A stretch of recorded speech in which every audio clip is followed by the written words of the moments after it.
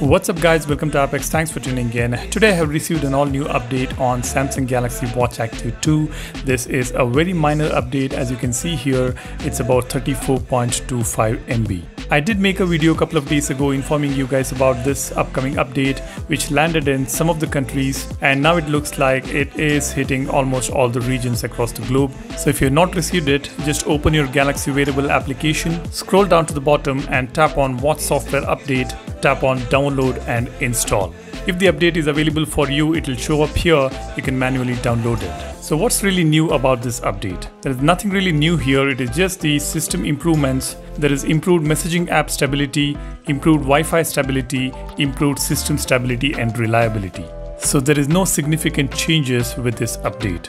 Now let me just go ahead and install the update. It takes almost about 10 to 15 minutes for this whole process. First, it will transfer the update data from your phone to the watch and then the watch will get disconnected and updates the firmware.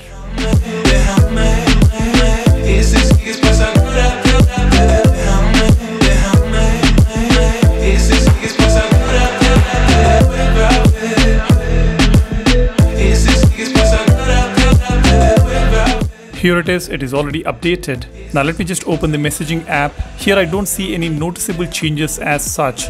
Maybe it is a bit snappier than before. I don't really use this application much so you guys let me know if you have noticed any changes on messaging app. Even if you have noticed any changes in terms of user experience, do let me know in the comment section below. Now talking about Galaxy Watch Active 2, I've been using this for more than a year now. It's an amazing watch even today and it's great to see these updates popping up every now and then which always improves one or the other aspects of the watch.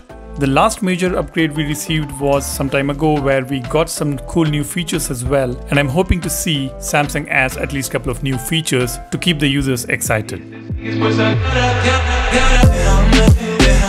That's all I wanted to update you guys. Thanks a lot for watching. There are free coupons coming up for some of the premium dials very soon, so stay tuned for that. Thanks a lot for watching. You guys take care and stay safe. I will see you in the next one. Cheers. Bye bye.